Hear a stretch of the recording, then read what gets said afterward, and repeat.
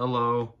Uh, today I will be listening to Slaughter to Prevail until I hear Alex Terrible singing some Doom things and stuff. Alright, let's do this. Come on!